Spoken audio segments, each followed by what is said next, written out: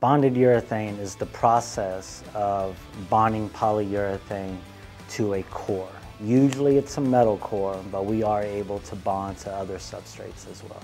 So the advantages of bonding polyurethane to your metal core is that it's going to hold the bond in high heat. It's going to hold the bond when there's weight and pressure on the rollers.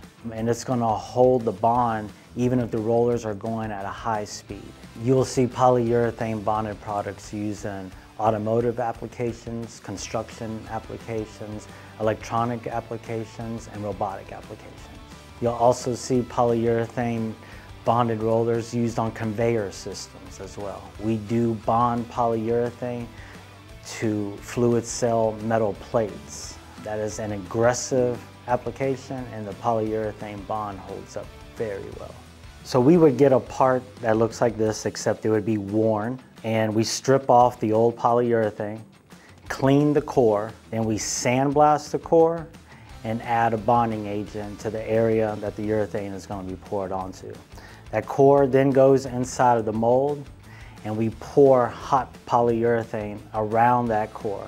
The polyurethane being bonded directly onto the core gives a much, much stronger bond. After that, we take the rollers into the machine shop and face and turn accordingly and you get a part that has a very, very strong bond.